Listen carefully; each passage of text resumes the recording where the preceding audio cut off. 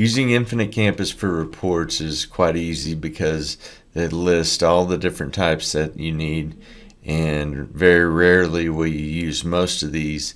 We can just pinpoint exactly what you'll need. For secondary schools, attendance summary is important because it shows line by line for each student uh, what their attendance looks like.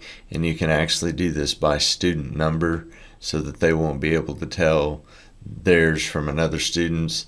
They can just pinpoint their student ID number, go to their line, and you show them which uh, absence and tardy actually counts against them. So that's one way to show attendance summary for secondary, especially towards the end of the semesters. Blank spreadsheet is good for the first of the year uh, for marking attendance manually and keeping a record of it uh, because you get boxes and different sizes and number of boxes based on what you choose next to each student's name. So those are always good ones.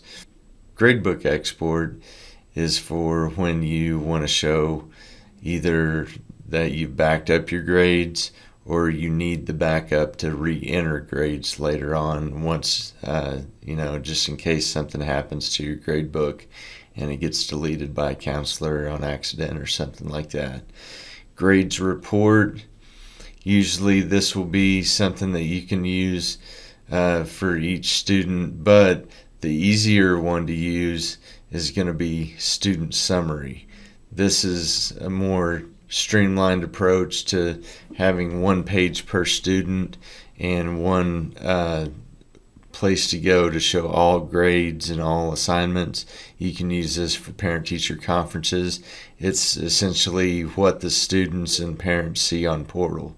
So that's a really good place to go. Um, that's campus reports right there. That's most of what you need to know. If you have any other questions, ask your Infinite Campus coach.